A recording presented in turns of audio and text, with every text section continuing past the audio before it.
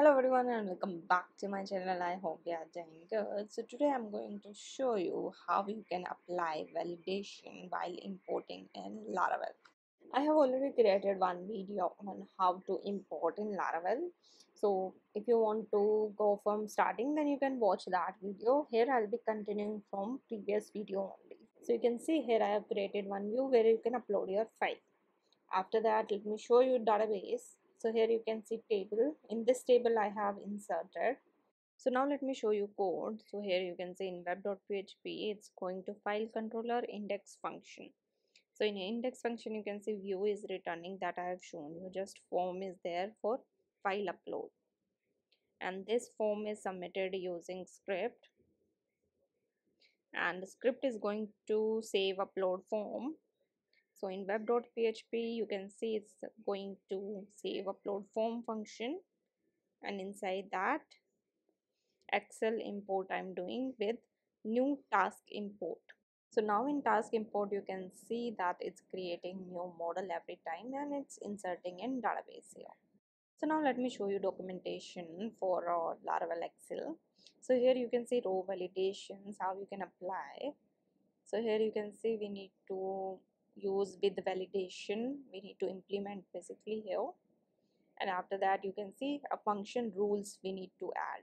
And with heading row these rules will be like whatever your heading. So we have title and description heading. And last i will show you how you can add custom validation messages. So now let's add rules in import file.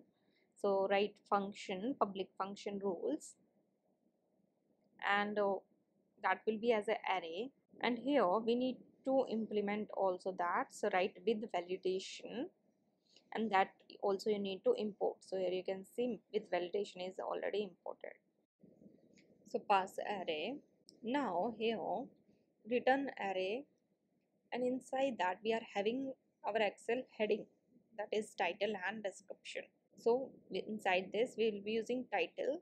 And then we will be defining rules so title rules we will be adding here uh, should be required. And for description also required. So now let's go to excel and let's say title first uh, task i'm going to remove. And now let's save. And here now let's go and import. So before that let me just inspect and let's go to network. So now upload the file and click on submit. Now you can see in uh, preview we can see there is errors that there was error on row 2 the title field is required. So here you can see validation is working fine. That title we have added required. So it's giving error as we have removed from row 2 title blank we have passed. So let me just console it console log response. Now let's go and refresh again import again and now submit. Let's go to console and here you can see one response json and inside that you will be getting errors. So now let's get this key. So here write var let's say error response. And inside that write response dot response json dot errors. So errors uh, is array. So let's uh, start a loop. And inside this loop we will be displaying uh, inside our div so let's uh, let me just check. I guess i have already created div that is form errors. Yeah it's already there at the top. So we will be displaying all our errors in this div. So write id dollar form errors with the html let me just uh, write it outside loop because i need to display all the errors. There can be other fields as well. So multiple errors will be there. So let's uh, hold this in our variable and then inside that append to the string. So let's say string and here str and with that write error message and at zero index we will be having our error. So now let's check in browser refresh and submit. So on submit you can see there was an error on row 2 in that div error is displayed. In db also it's not inserted so now how you can pass your custom message here.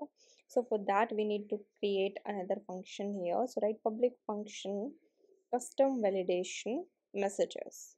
So inside that written array and key will be your heading that's a title and with your uh, let's say rule that is required.